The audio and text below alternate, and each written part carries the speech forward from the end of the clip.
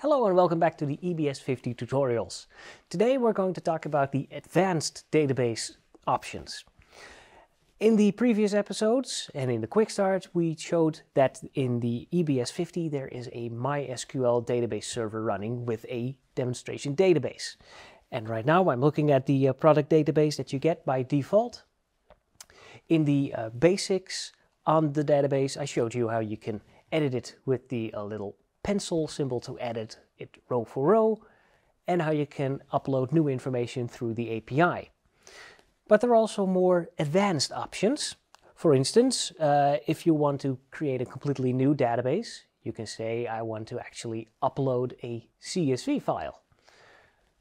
And that CSV file can be one that you created yourself or one from the uh, uh, list of uh, dummies that we have in the EBS toolkit.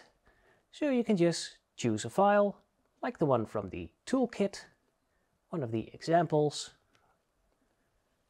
upload the file, and then you can use a CSV database. Or you can configure an SFTP connection, and then you can say uh, a server location where the CSV files can be found. And you can say, well, I've got a host name, a username and a password, and I want to update it with this interval. But those are just CSV files. What if you have your own complete database server already running and you want to use that? Well, in that case, we offer a variety of options. We already have the built-in MySQL database, which you can provide with new information. But if you have your own external database, you can say, well, I want to configure an SQL connection. Now I have a, a database running in this office at a fixed IP address.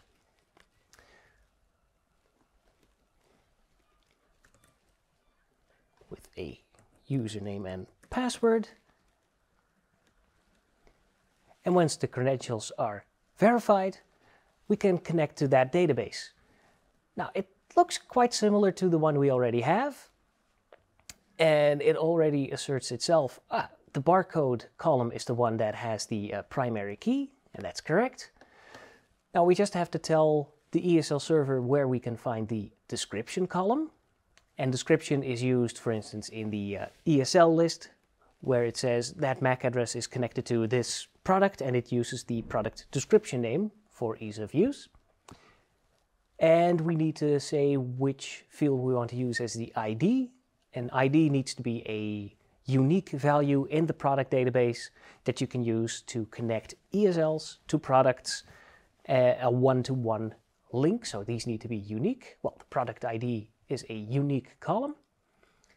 And we can save those changes and go to the next step in the wizard. And this is the interesting part. You can either have an entirely external database, and the ESL server needs a couple of uh, tables. Of course, it uses the product data to get information that it wants to show in ESLs, but it will also need to store which ESL is linked to what product, a link table and it also logs any issues in a couple of logging tables. Now you can uh, have those all internally, as it is when you get the unit, or you can have it all externally, or you can have an in-between, a hybrid database. If you want to use your external existing database only to supply the ESL server with product information, you can say, I only want it to pull products and nothing else every other table for links and for logging and event handler, any other table that it needs will be stored on the EBS 50.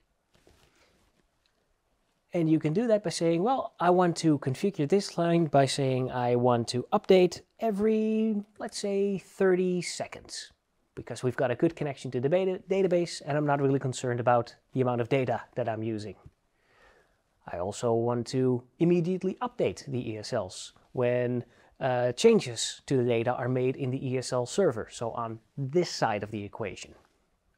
And I also want to reload the data when the application restarts. For instance, if you take out the uh, cable, uh, power cable from the unit, plug it back in, once the unit boots up, the application boots up too, and this will also make it reload all of the data from the database during boot up. It will increase your boot time, so use it carefully. Then we can say how we want to synchronize with the uh, product database. Well, you can say by default, the entire data table will be uh, copied every 30 seconds during that interval.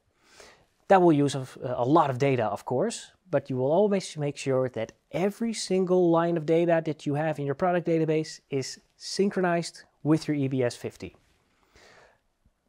Now, if you have tens of thousands of records and only a couple of hundred of them are actually in use in the store, you can say, well, only update the linked product information. That way the ESL server says, okay, in my link tables, I know that these unique IDs from the product table are in use, and it will request the external ES, uh, the external SQL database only information on those records. This is the one that I'm going to use, staging and trigger.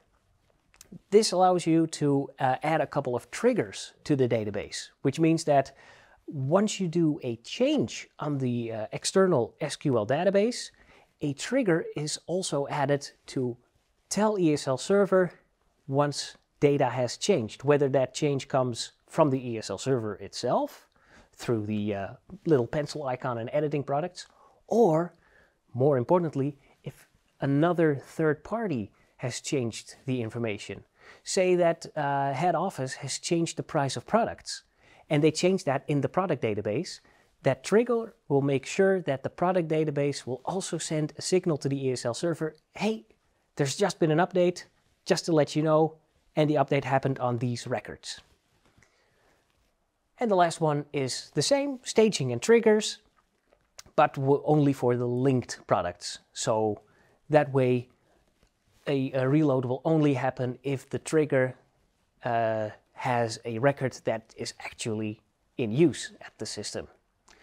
We're going to do staging and trigger and choose that.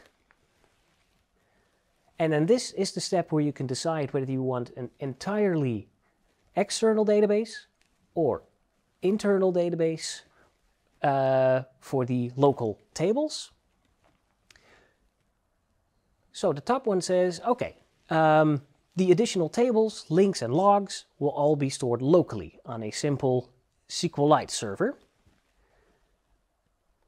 I can store them on the same SQL server that I have already connected to, the external one, or yet another SQL server so that you have one server for your product information and another server for the rest.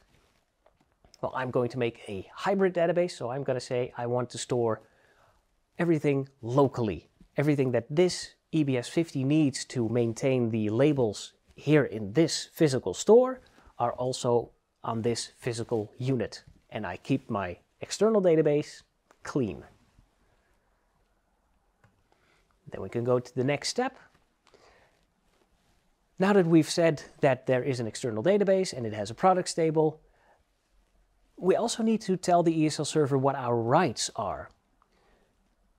If we make changes to products, but we're not actually allowed to change the external database because the user uh, account that we logged in on the server with doesn't have those rights, we can say it is a read-only database. You can still make changes, but the changes will be stored locally.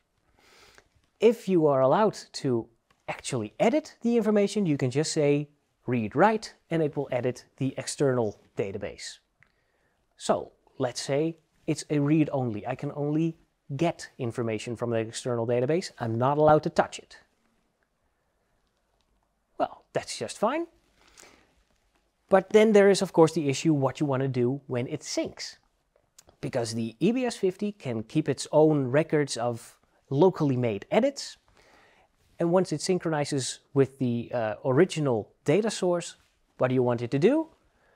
Well, you can say, I want to replace it if the remote data changes. Basically, that means I've made an edit to the original file, and as long as that file on the database server doesn't change, we can ignore it. We want to keep our own change. For instance, it says that a product has this price, but we're like, no, in this store it's that price. And as long as that external price doesn't change, we can just say, well, ignore it, I'm going to keep my own edit.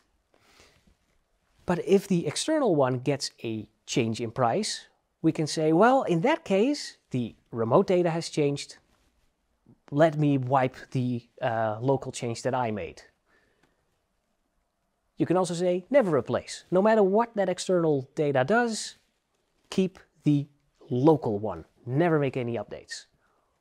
Or you can say always replace, which basically means in our case we said sync every 30 seconds.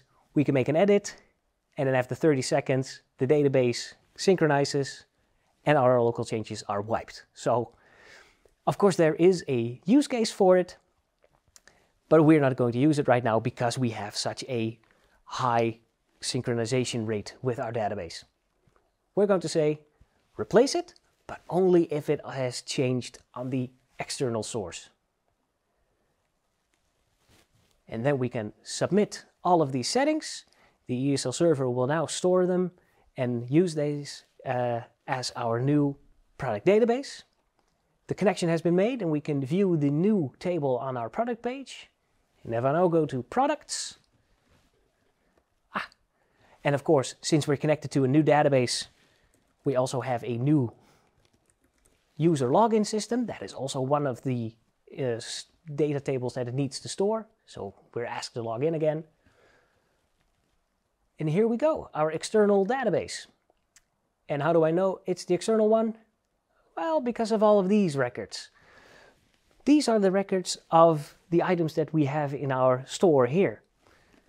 And that external data source is the original one that has all of the information on the prices of these articles and we are now connected to that external source for our product information, but any link that we make, any log that is made, any user that is added or removed from the system is all stored on the system itself, making sure that our external product database stays clean. This was the advanced topic on databases. Thank you for watching. We have a lot more tutorials. You can find the playlist in the description. If you have any questions about the EBS 50, you can contact Opticon. The contact details are in the description as well. Thank you for watching and see you next time.